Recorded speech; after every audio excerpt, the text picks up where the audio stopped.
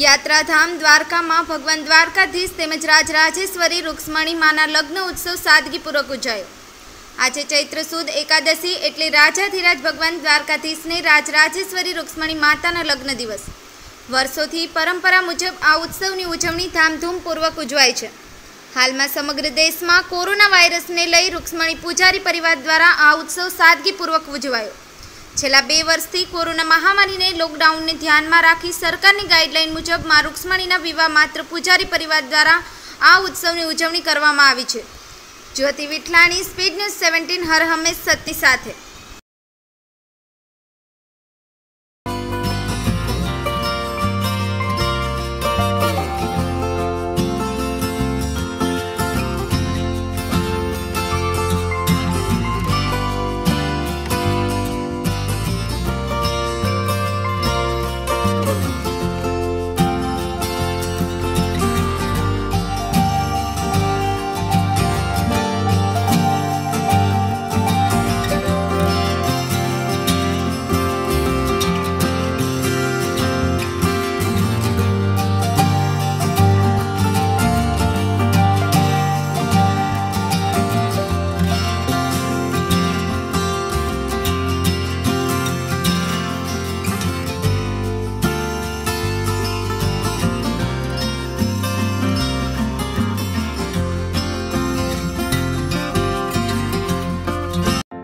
કોરોનાને મહત આપવા વેક્સિનેશન જ અક્ષીર ઉપાય છે.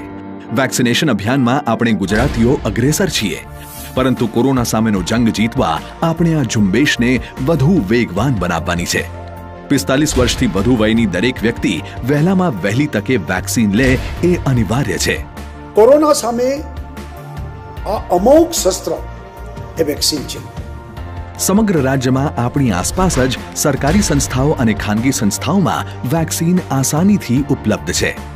અને હા, કોરોનાની રસી સંપૂર્ણ સલામત છે, એટલે વેક્સિન લેવામાં કોઈ વિલંબ ન કરીએ. કોરોનાની કૂચને અવરોધવાનો અક્ષીર ઉપાય એટલે રસીકરણ. આ એપ્રિલને રસીકરણ માસ બનાવીએ. આપણે વેક્સિન લઈએ અને સ્વજનોને લેવડાવીએ.